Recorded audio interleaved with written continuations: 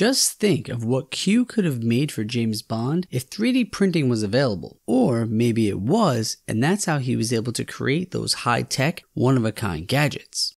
Although 007 was fictional, his organization, MI6, and its US counterpart, the CIA, are real. And for them, being on the forefront of cutting edge technology, including 3D printing, is a priority. So let's take a look at some of the 3D printing companies that the CIA has invested in and some of the potential ways those technologies could be useful. The intelligence arm of the government, shrouded in secrecy, invests in many companies developing cutting edge technologies that could serve national security interests. 3D printing is one such technology, mainly due to its ability to create custom made objects quickly and easily with minimal waste of materials. Rapid prototyping, on demand manufacturing, and customization are all aspects that a secret agency would like to have. But to keep up with the moniker of a secret agency, the CIA does not partner themselves with tech companies directly. Instead, they use a non for profit venture capital firm named In-Q-Tel.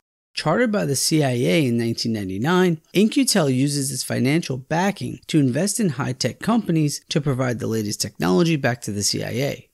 These investments give the CIA the ability to steer these companies in certain directions and allows the agency to take ownership of any tech it deems useful. And with over 500 companies in its portfolio, you can be sure that In-Q-Tel will have its hands on any new tech, especially 3D printing. The name In-Q-Tel is an intentional reference to Q, the fictional inventor who supplies technology to James Bond. Now, onto those companies. One of the first 3D companies that In-Q-Tel invested in was not necessarily into 3D printing, but more of a 3D scanning and modeling. Fuel 3D is a UK based company that develops 3D scanning solutions for a variety of industries, including medical research, security, and retail. Fuel 3D specifically specializes in handheld 3D scanners, such as their Scanify device, which provides high resolution full color scans in just seconds. In 2016, they developed a mirror based 3D scanning system for customizing eyewear. The high speed 3D capture collects facial data in 0.1 seconds. In 2017, the company announced a high speed desktop scanner for imaging small objects such as ears. They also introduced a portable 360 degree scanner that can capture scans around the size of a human head and shoulders. High precision 3D scanning opens up some interesting use cases. Aside from the CIA using facial recognition software to track and identify targets, the technology is also a perfect partner for 3D printing. Using a portable scanner, you can scan the face of someone and print a realistic mask for impersonation. Or scan a valuable item and create a perfect replica in order to deceive security and walk away as if that item was never touched. With the usefulness of wearable technology on the rise, a 3D scanner would be perfect for the secret science lab to quickly custom fit any watches, earpieces, or glasses needed for an agent. Oh shit, I like this. Another early investment by In-Q-Tel was the creator of the world's first multi-material 3D electronics printer, Voxel 8. Basically, the company's printer enables designers and engineers to print embedded conductors, wires, and batteries into 3D printed objects. Voxel 8's desktop 3D electronics printer features dual material capabilities by combining a fused filament fabrication printhead with a conductive silver ink printhead.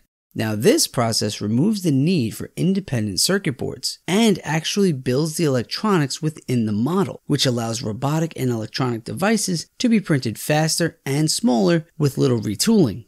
One example the company used was their printing of a drone helicopter in one print. Just think how quickly Q could have made those little devices for Bond if he had a 3D printer with these kinds of capabilities. Voxel 8 got a lot more interesting after being acquired by Kornit Digital in August of 2021 by unveiling its Active Mix technology which allows the printing of high performance elastomers that cover a wide range of material properties. Active Mix can print complex 3D printed objects with a range of properties and then embed that object into textiles. Using this, you can change the feel and durability of clothing, say for making an armored bulletproof tuxedo. The company then went a step further and unveiled their Active Lab digital fabrication system, which combines both the active mix and electronics printing technologies. This system can print electrical components directly onto textiles, which can be used to monitor the vitals of an agent or embed control sensors into a coat to perform commands such as turning on a car or activating a distress signal.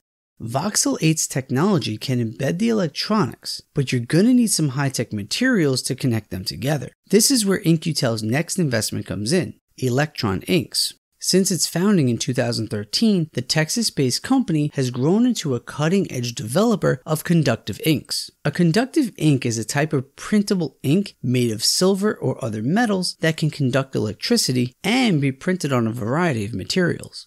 This type of tech allows for the printing of circuitry at very small scales and retains unique properties such as flexibility. Their new particle free silver ink is compatible with aerosol jet printing processes, which allow for printing at high resolution on the nanoscale. Combined with this printing process, the particle free ink is ideal for interconnects within mobile and wearable products, sensors, and displays because it reduces the size and weight of electronics. Size and weight are large factors when it comes to secret agents like 007. Rarely are these agents seen carrying large backpacks and suitcases. Thus, their many gadgets and weapons must be lightweight and concealable.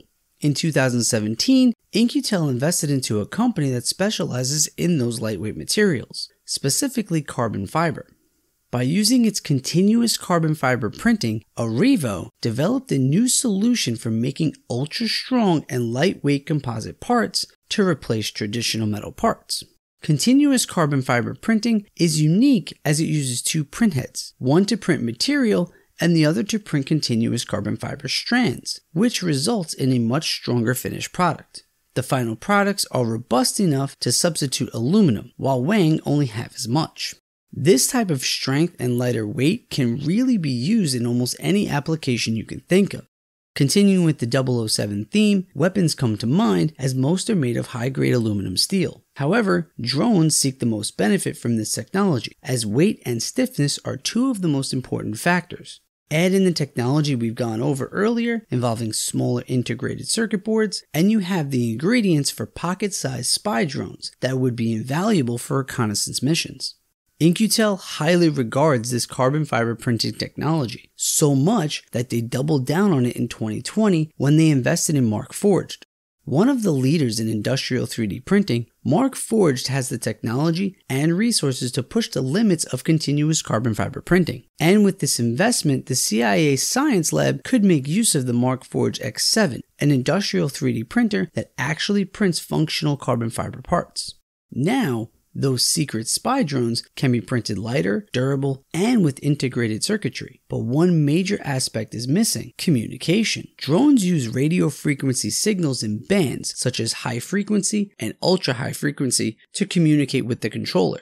The next company specializes in such technology. In April of 2022, In-Q-Tel made its most recent 3D printing investment with Fortify, the investment came shortly after the company announced it developed a multiple low loss dielectric materials for use in high bandwidth, high frequency radar, and communication systems. Their custom Flux One system can print objects and materials that can enhance wideband performance for next gen radar and communications, specifically devices using 5G. These materials allow for long range, high frequency communication between the agent and their drones or communication devices. This can help the agent communicate vital information in remote locations. For example, if an agent is in a forest and needs to communicate with their team, printed devices in these materials allow the agent to send a message that will be received clearly and quickly. This can be very helpful in situations where time is of the essence, such as when there is an emergency or when the agent is in danger. I think I got the thrust of it. Although all of this is speculation, with some sci fi added in for fun, from the outside it does seem like the CIA, 007, and 3D printing have a bright future together. Thanks for watching.